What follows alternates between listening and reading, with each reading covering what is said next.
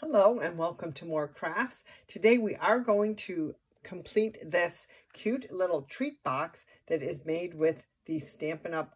envelope punch board as well as a piece of four and a half by four and a half inch designer series paper. Now the nice thing about our designer series paper is they they are two-sided and it comes with a design on each side.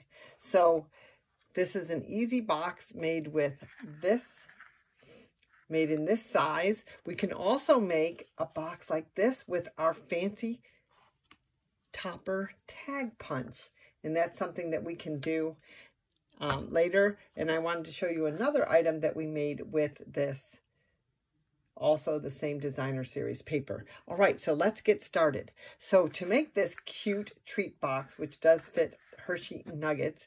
We just need a piece of four and a half inch by four and a half inch designer series paper. So let's go ahead and take out our Stampin' Up! paper trimmer and cut our paper to four and a half inches by four and a half inches. So the nice thing about the paper is that it's double-sided and our trimmer has a scoring tool as well as a cutting tool. And make sure that you save your scraps. So that's four and a half inches. You can see it right there.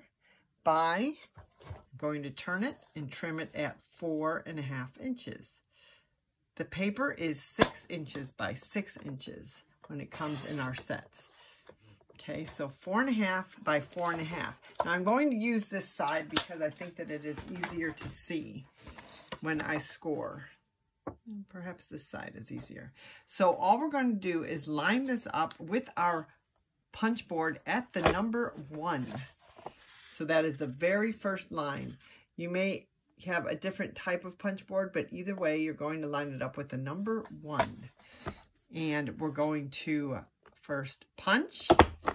We're going to pull out our scoring tool that is with the punch board, and we're going to score right along that line. Okay, next we're going to slide it over to the number three. So this is number three on our punch board line, and we're going to punch again, and we're going to score. Now that's the only numbers we're going to use. Okay, so I want to make sure you can see those score lines right there. I'm going to turn my paper and line up this notch with my score lines. First I'll line it up with that, that line right there, which was the three inch mark. And I'm going to punch again and score. Okay, now I'm going to slide it over to that first score line, line it up with a notch. I'm going to punch and score. Okay, and I'm going to do that on all four sides. You can you can see these score lines here. So I'm going to find those, line it up, punch, and score. Okay, now the nice thing about these punch boards is that they they are easily aligned, but then there's also a, a, a rounder, a corner rounder at the other end here, and we're going to use that in a moment. Okay, let's just turn, line up our score line, punch, and score. Line it up with the other score line, punch, and score. Okay, so now I'm going to have a paper with two, two lines that are narrower tabs and then two that are wider, okay? And the box is going to fold this way, okay? But before I do that, I'm going to go ahead and use the corner rounder and round out corners of all of the tabs.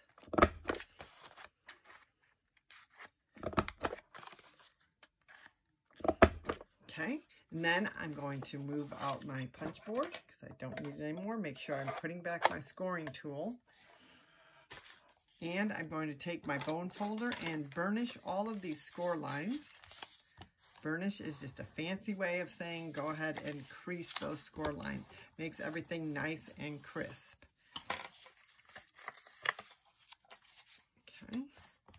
Now, I do have to cut, so I'm going to use my Stampin' Up!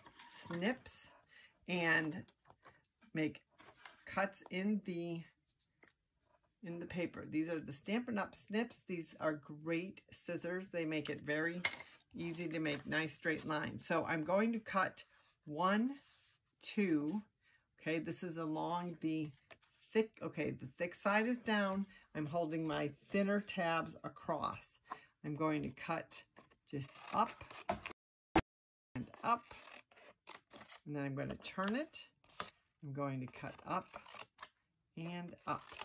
I'm going to take, I can use my Tear & Tape, which is the Stampin' Up! Tear & Tape. I'm going to put it on each of those four spots. Okay, this is the Tear & Tape, which I really do like, but I'm going to also show you we have our Stampin' Seal tape, which is very convenient to use, and it gives a really nice hold. And all you do is, nope, again, make sure that it's, make sure I've got some in there.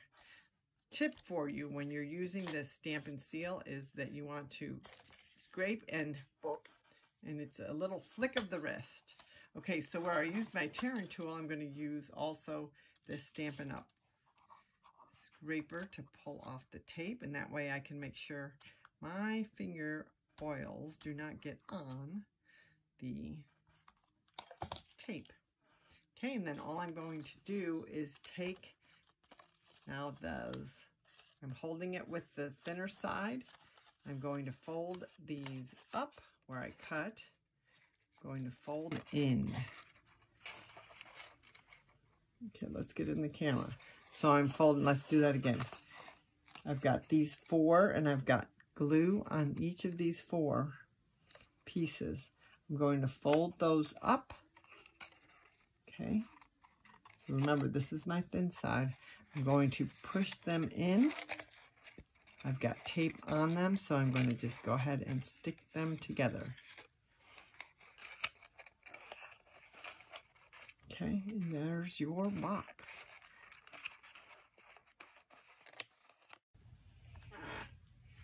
Okay, and there is the box. You fold in the edges. And now I'm going to take my punch tool. Actually, let me, I put a nugget in there. So let me take that out and get my punch tool. And this is a great tool. It's got three different punch options it has a corner rounder as well. And I'm just going to use this part, which has punch, and punch a little edge in there. Oh, perhaps I should have done that before I started. The way I can line it up is just put that in, punch, and punch. I've got that cute little punch at the top, and I'm just going to do the other side. I could have done this first, I suppose, when I had it all together, but it lines up right with the edge. And just punch. And now I can take my ribbon, which I do have a really cute ribbon, which is Stampin' Up. I'll just cut that. I'm going to put it together. I'm going to slide it through. Put it through the center.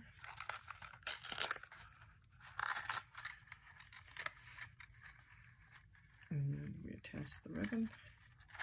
And you have your cute little box.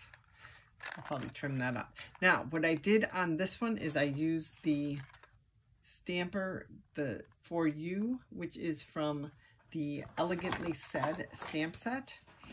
And this is a really nice stamp set. It has a lot of different sentiments and some small ones, which are perfect for this project. And oftentimes I will make just several of them. As you can see, I on this one, I did the, I used my punch that is state shaped like a different shape and I could, but I've also used it with the circle. So I might just go ahead and pop that actually. Yes, let's go ahead and pop that on here with a dimensional. And Stampin' Up! makes these great dimensionals that you can, So I'll just take this sentiment, which is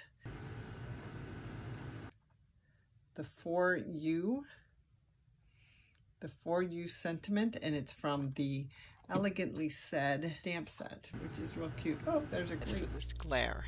So let's just go pop this sentiment in the middle and we'll use our dimensional. Um, just peel off the backing and well maybe not in the middle. Maybe I'm going to put it more on the side.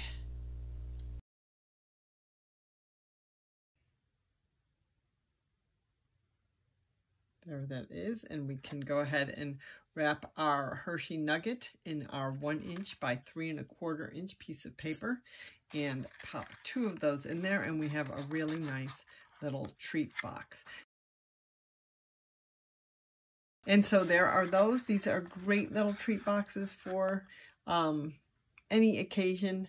And I hope you enjoyed this video. Go ahead and subscribe to my channel and you can find me at my website, stampinwithsarcasm.com.